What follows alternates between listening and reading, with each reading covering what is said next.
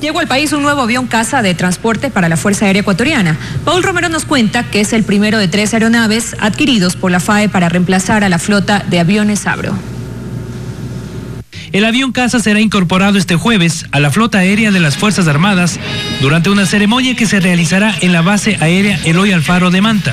La ministra de Defensa, María Fernanda Espinosa, señaló que esta adquisición es parte del proyecto del gobierno para la recuperación de la capacidad operativa de las Fuerzas Armadas, entre otras adquisiciones. Hasta el mes de octubre eh, tendremos ya los tres nuevos aviones logísticos. Esto, como digo, es un plan eh, de fortalecimiento de las capacidades operativas de Fuerzas Armadas. Las aeronaves fueron compradas en 2013 a la empresa Airbus Defense and Space de España con una inversión de 123 millones 850 mil dólares. Pero ¿cuáles son las características de los nuevos aviones?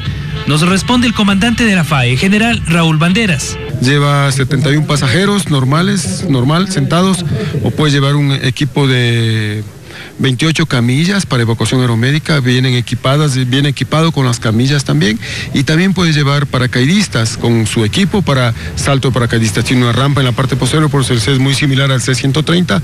A la ceremonia militar en Manta de reemplazo de la flota de aviones Abro asistirá la ministra Espinosa y el alto mando militar.